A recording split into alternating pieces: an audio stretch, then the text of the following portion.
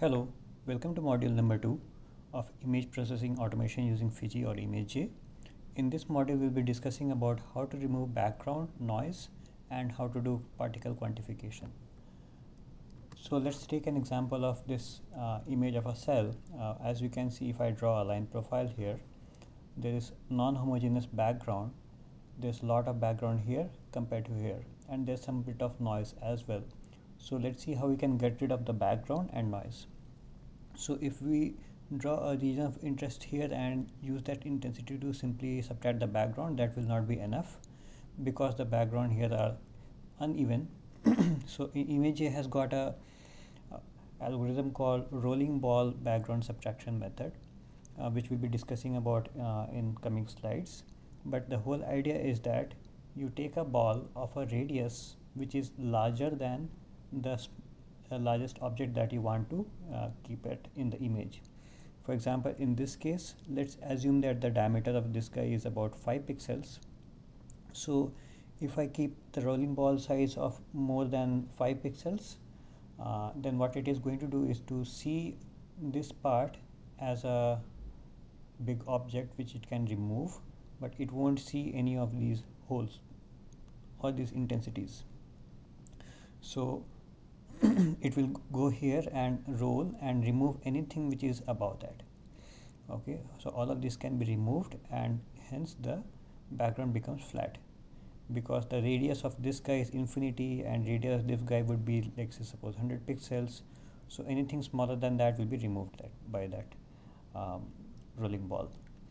Now even if you do that we still have some bit of noise and we can use uh, algorithm called band pass filter which can remove high frequency noise like this and make the signal very smooth.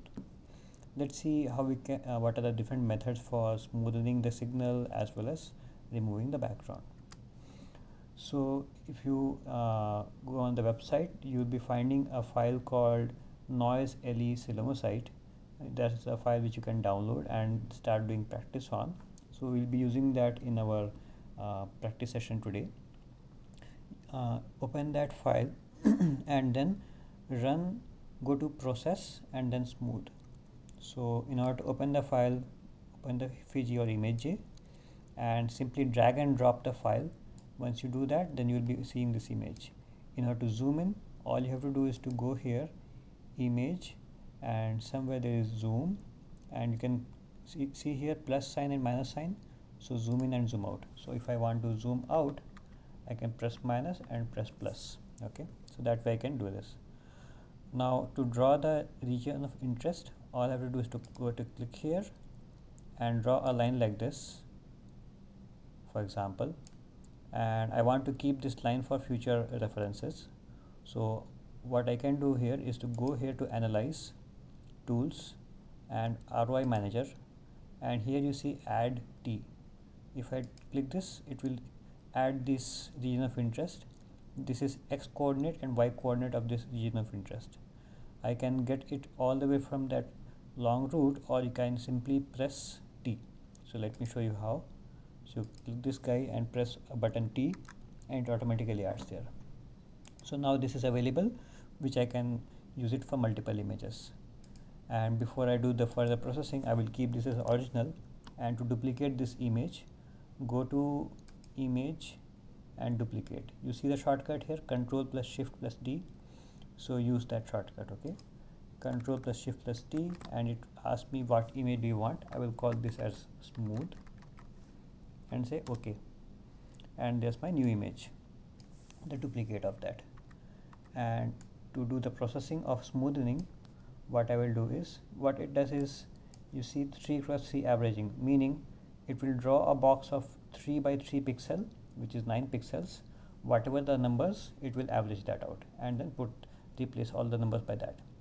So if you go here select this image process and you see smooth. And you see that as soon as I did that you can see a visible difference between the two images. To quantify that click this guy and you will have this region of interest shown here. And to plot the profile you have to do is analyze and you see plot profile control plus k.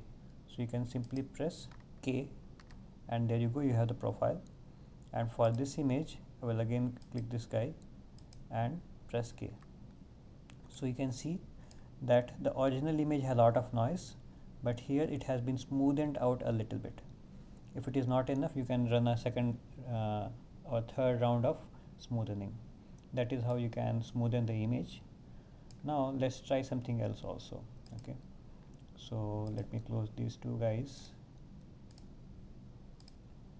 And let's get back here. There is something called bandpass filter. Bandpass filter is a special kind of filter which can be used to remove uh, large background as well as high frequency noise. What do i mean by that? So any image is made out of uh, features like these. Very large features will be having a very low spatial frequency. Just like time domain frequency there is something called spatial frequency. So here you see bright and dark bright and dark spots. They are repeating themselves in a certain range. So this has got a low spatial frequency and this has got a high spatial frequency. So usually the background is going to be around here if we plot a graph of spatial frequency versus intensity so background is going to be somewhere here because usually background is very flat or it doesn't change so much so fastly. On the other hand noise is going to be very random and very fast. It will be varying every pixel almost.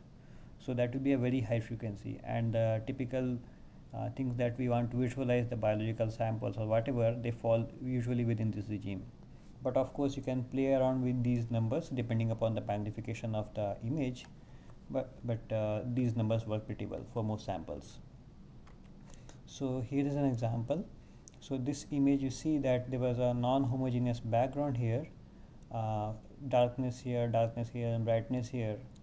So uh, after we applied this filter so it removed this big change in intensity here and you can also see there are certain stripes here and high frequency noise which can be removed by using this kind of filter. Also uh, we can also try rolling ball background subtraction and see if it works okay? So let's try that. So let's get back to our original image uh, which is the Silomo site image and try something here. So this is our original image now we'll duplicate this guy. So shift D and say ok so this is our new image. And let me now try uh, running the bandpass filter.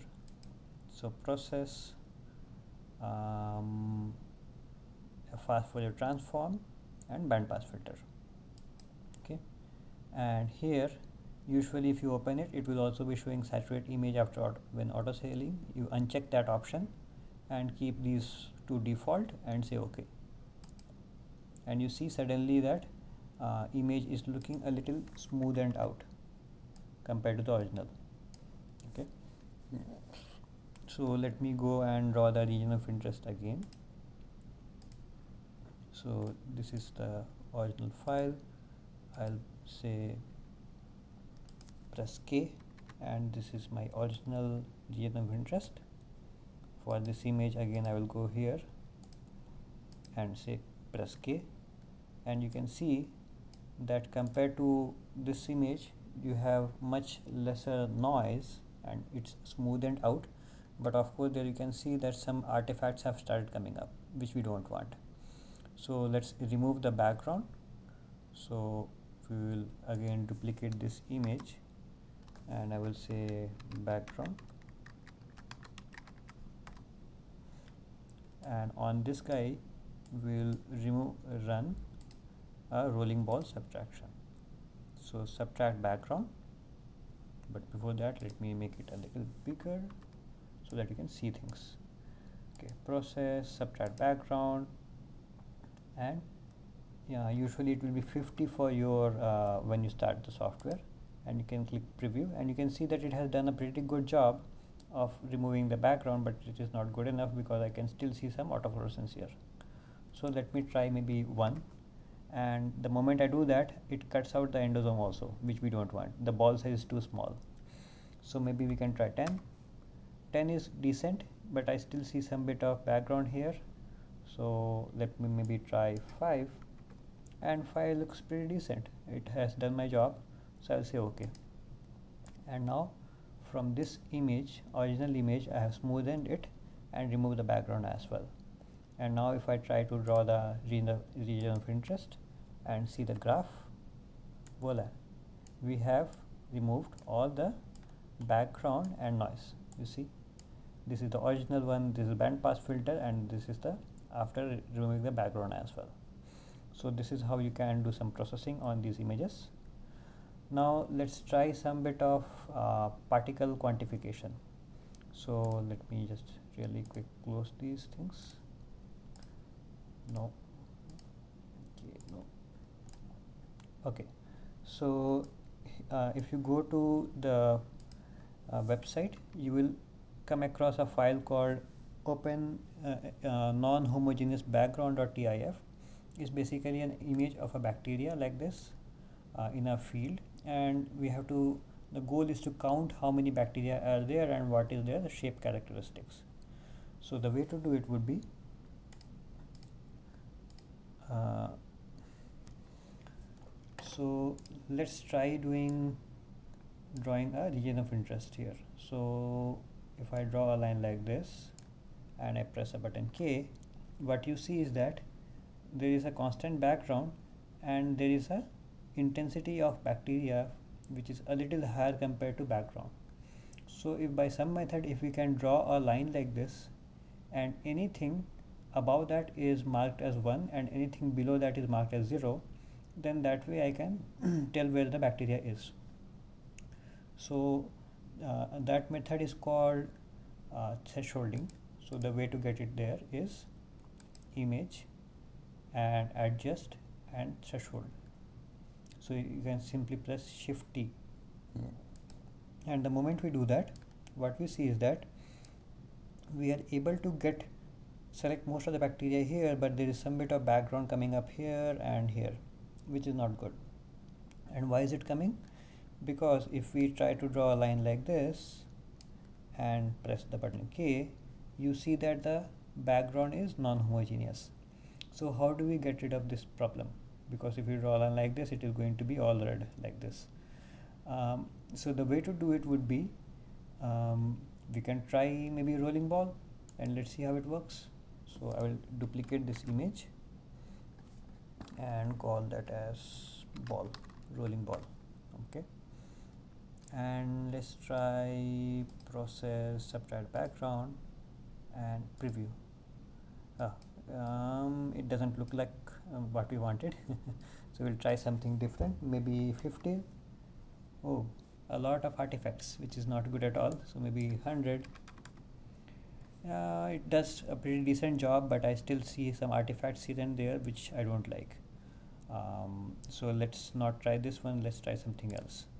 So going back to a previous, previous example what we saw is that um, an example of uh, fast Fourier transform could be a good one maybe let's try that. Band pass filter. We'll keep the same settings and let's run ok. And image looks somewhat better. Let me draw a line profile real quick. And if we see the profile it looks pretty flat and it has done the, a good job.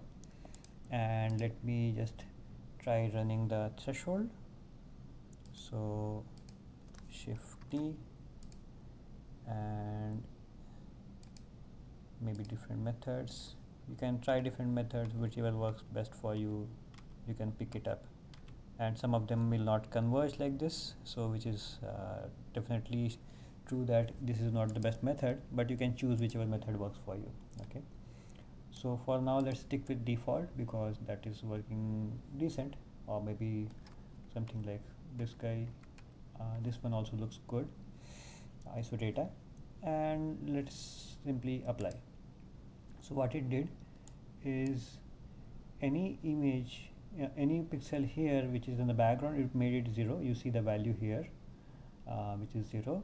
And anything which is like bacteria is 255 so it's a binary image. And if I draw a line profile like this you will actually see that that it is either 0 or 255 0 or 255 and that way I can now use it to calculate the values. And as you see here the image already has got a scale. The pixel values corresponding to microns. This should automatically get loaded from the uh, metadata of the image. If it is not there you can always go to analyze and set the scale of how much is the uh, pixel size. Or you can do simply calculations in the pixel regime not in the micron regime so now this image is ready. Ideally what people would do man uh, would be to manually go here count one two three four five six and it will take forever. Uh, let's see how we can automate this process and make it fast. So all we have to do is to take this image and go to analyze analyze particles. And here it will be 0 to infinity for you most of the times uh, when you start it by default uh, for now let's keep it c to 6, 600 uh, and we'll be using pixel units not the micron units. Um, you can choose any it doesn't matter. And this circularity is a parameter which you can use to decipher between an elongated object and a circular object. Uh, elongated object will be having circularity of 0 and a circular object will be having a circularity of 1 how does one calculate this so this is basically the ratio of the minor axis to major axis of an ellipse. If the ellipse is very elongated it becomes like a line like this. If it is like uh, symmetric then it becomes a uh, circle. Probably this is somewhat close to a circle. So in this case we don't need any such filter so we don't won't worry about that we want to add to the region of interest manager we want to exclude these things on the edges here and we'll say okay. And there you go. It has done the calculation or identifying the objects for you so quick. And where is my region of interest manager? Here it is. And there are all these numbers which are here which are the region of interest it has selected. So I can pick any of these and then do the measurements one by one or I can go to this original image. Let me do the processing for it real quick before I analyze. Uh, fast Fourier transform bandpass filter. I will say okay so that I remove the background and everything. And now I can use this guy to identify the objects like these you can see each bacteria has been selected. And then simply I deselect all and then measure and here I have the area of each bacteria, mean intensity, standard deviation and so on and so forth. And further you can also have many more results. You can set go to here set measurements and you can choose any of these depending upon the need. What I would encourage you to do is to go out to image website or do Google search and uh, understand what is the meaning of each of these that way you can add a lot of value and a lot of valuable information to the research that you are doing. Okay? So that's all for uh, this module. And in next module we'll be talking about deconvolution cd visualization and colocalization